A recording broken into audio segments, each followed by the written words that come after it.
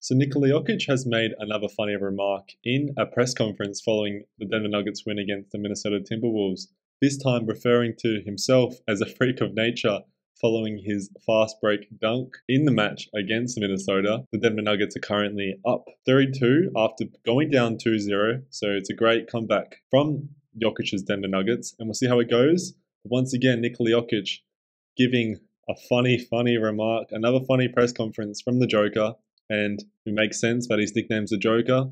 Jokic and press conferences, they go hand in hand, even if perhaps he doesn't really like doing them.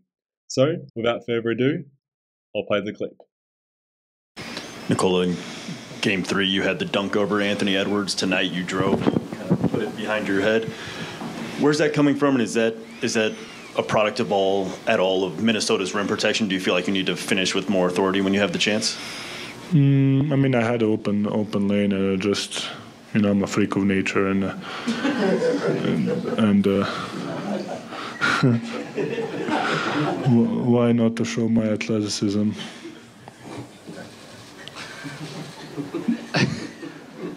Nikola, I, with